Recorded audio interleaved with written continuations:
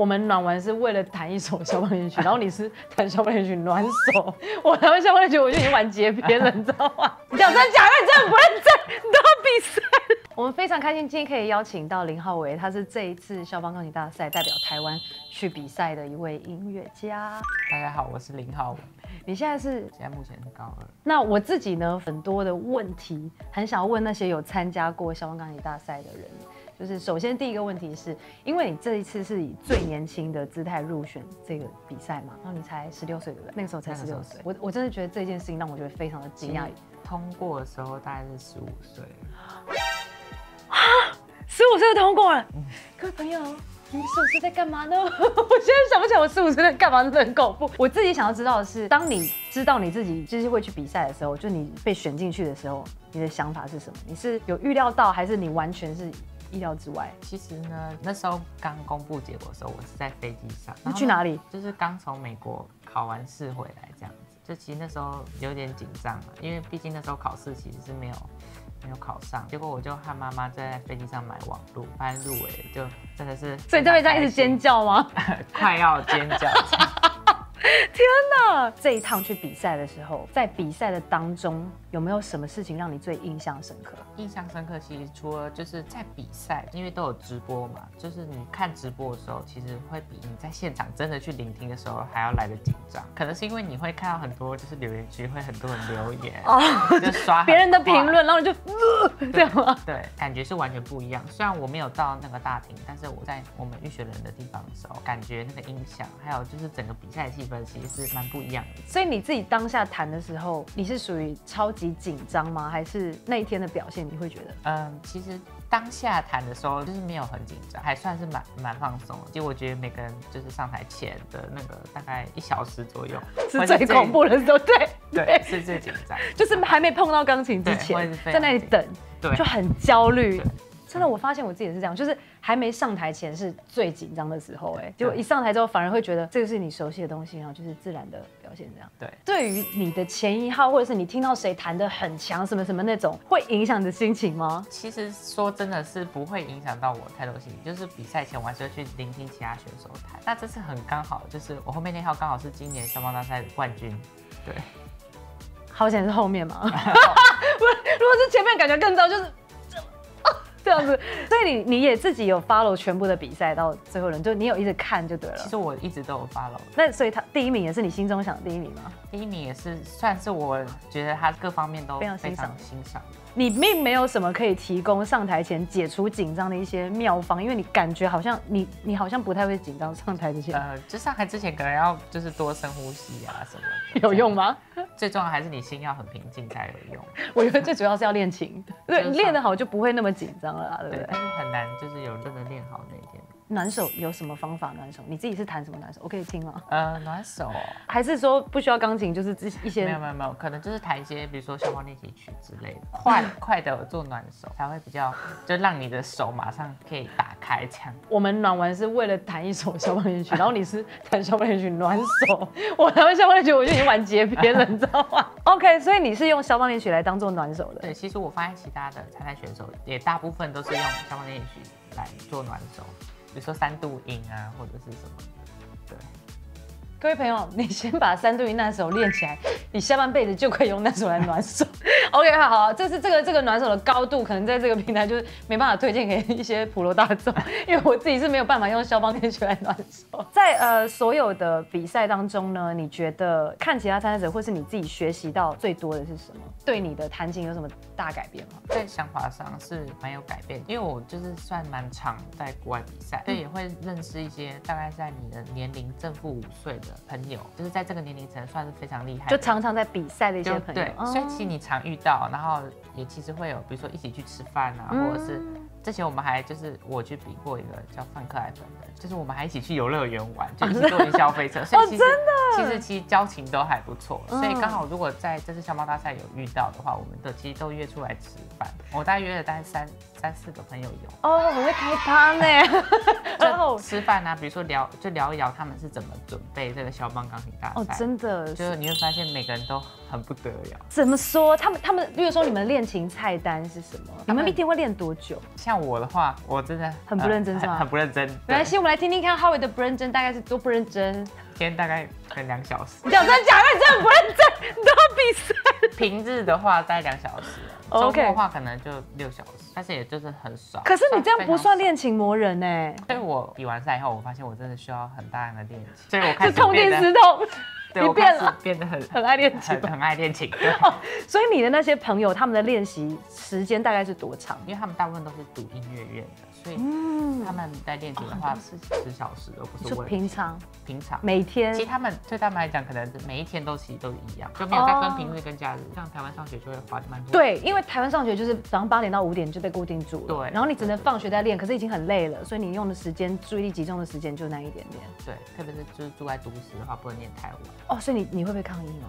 我是不会，但是我会自己停止，就到十点的时候我一定要你不要停止啊！你的邻居搞不好会想，他会不要停，想再多弹一点点了，都不用买票，可以听到林浩伟弹琴，所以你就要只能弹到十点。对啊，对那你也尽力了，好对不好？对，没没没有我我所以我会哦不敢把时间讲尽力往前拖，往前拿。对，往前。所以你现在就练琴的时间变长了，你觉得是因为这一次看了更多在这个世界上很厉害的年轻音乐家，他们其实练琴的时间真的需要这么多？需要很多，因为真的曲子量非常的多，就是你几乎肖邦的作品，你每首都要会了。对我还有一件事情是，你们到底怎么能够塞这么多乐谱啊？因为肖邦刚人家在比赛这样从头到尾的曲目这样加起来，一个人手上大概至少要有多少曲目才能去比赛？如果从你从录 tape 开始，然后到最后比赛，你准备了多少交棒的作品？虽然说我没有进到正式赛，我只有参加预选，赛，但是你应该还是有练但是我。就是光录音的时候，就是是录第一轮的曲目，然后预选的话，可能就是要两首练习曲，然后一首夜曲，然后一首叙事或者是幻想或者是传歌，然后两首小的马祖卡这样。然后呢，录音的时候，它其实是要两首练习曲，但是要跟你预选的是完全不一样的。所以你至少要会四首肖邦练习曲，对，就是你一定要会四首。它有嗯指定，然后也要一首夜曲，然后会写曲或叙事曲之类的。所以光是从台湾这个 tape 这一轮，然后进到预选轮，你至少就要有十二首肖邦的曲目嘛？我刚刚算起来。除了练习曲一定不能重复，其他是可以重复。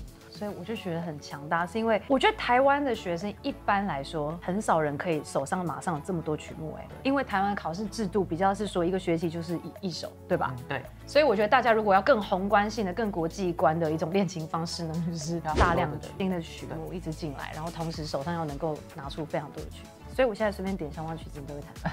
他说，嗯嗯，先不要。可能有听过，但是不一定一定能。所以你是喜欢肖邦的吗？还是你弹的有点腻？没有没有没有，其实我真的从头到尾都很喜欢肖邦。OK，好，那再来，我想要问的是，从你比完这个比赛之后，你觉得你有什么样最重大的改变？哦我刚刚听起来是练琴时间吗？对还是想法上有什么其他的想法改变吗？练琴上的话，真的是时间，就是我而言啊，其他人不用。我觉得我其他人不用是什么意思？说你们都不用练了，我练就好了。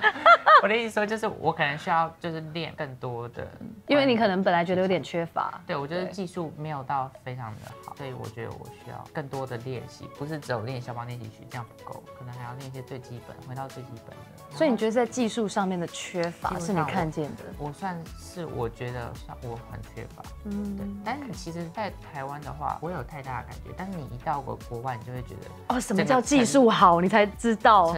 程程度会差距很大，特别是你肖邦肖邦练习曲，你弹下去那几个音，人家就不用骗了那是纯技术的方面啊，但是音乐也是另外一种技术，所以如果你技巧不好，你没有办法弹出很好的音乐。就你做不到你想要做的事，心有余而力不足。对，所以回归本质，其实练技巧还是为了音乐。十几岁讲那种话，就吓死我！结语都给你结了，记不到，我不要讲话。练技术是为了音乐，就是你不要再说什么我都只有技术没有音乐，你放心啦、你也没技术。不是不是，真的，我讲坦白了，就是你说的所谓的音色、所谓的乐句、所谓的架构、所谓的画面，都是技术来的啊、你没有技术，你怎么完成那些你想完成的事情？对，所以你可能就是在比赛当中，你看到哇，什么叫做真正的炫技，真的技术是非常非常好的参赛者。还有什么心态上面，觉得台湾的学生跟国外学生很大的不一样的地方？心态上面的话，但是我就是忽略了它的规模这么大。嗯你怎么会忽略？怎么可以忽略这么大的事？我就是没有太认真的去想说我这个曲目要怎么安排啊，或者是哦，我懂你意思，就是你没有那种很积极营营的那种心态其。实很多像我朋友或什么的，他们可能两年前就开始准备，像他们会去参加一些附属的比赛，比如说北京肖邦或什么。暖身当暖韩国肖邦哦所以他们已经很熟练了。对他们其实曲目都 run 过很多次了，嗯我真的相较起来算是非常不熟练。哦 OK，所以其实如果你真的要准备一个非常重大比赛之前，他是必须要让这些曲目够纯熟的话，不是只有练熟就好了哦，要一直不断的上台，对让那个曲子在台上熟成很多次，这样对对吧？所以说这个也是你学到很重要的经验。很重要。比完赛回来之后，你觉得有其他的人看你的感觉都不一样，就是哇，怎么怎么有给你一个什么样的压力或者是偶包吗？我觉得就是人家可能看到你就知道说啊，你有去参加过小猫大赛，就是你被冠上一个头衔。对，但是就像我们冠你。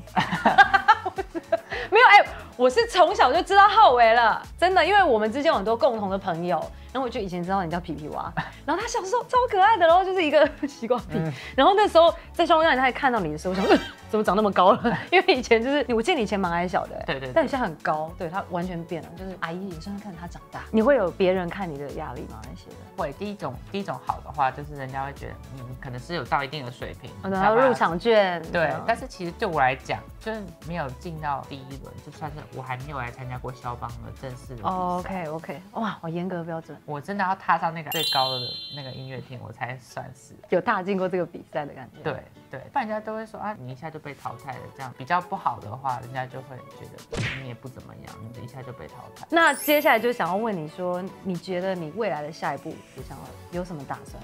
可能明年会多积一点曲子，因为可能准备消防大赛就是比较多的是消防曲子。那我在这几个月，其他作家曲子可能会变得练比较少一点。哦所以我可能现在要补充能量，对，我要慢慢平衡，嗯、再报一点其他的比赛，练习菜单。你最近新练的曲子有哪一些？比如说像德布西的印象啊，或者是展览会之华啊、这种的。好好听哦。对对。那我自己呢，帮所有在台湾呢学音乐的小朋友们，想问一个问题，就是如果你想要给一些台湾学音乐的小孩建议，对不起，你也是小孩，台湾学音乐的人建议，你有什么想建议吗？我的建议就是不能被，比如说你你一学期就是只弹一首，这样是就是这个制度绑住。对，不能被制度绑住，就是你要跳脱出来，然后你要不能就是都只想说你想要弹什么，你要想说你可能这个年龄你可能需要一些什么曲目当做基底，你才有办法在年龄增长的时候慢慢的往上，你才有办法有更好的发展。比如说你可能小时候九岁你就弹什么肖邦波兰舞曲，其实这样子对你学习一点帮助都没有。你只是硬盯起来这个曲子，可是你不懂它的意义，然后很多垫底该练的东西没练，到就。是我这趟回来，我还是觉得基本功真的很重要。那所以对你来说，你觉得现在你会欠缺的养分是什么？你拿来当做一个基底的练习。嗯，目前的话，我可能会把第一个，我还是会去练彻尼。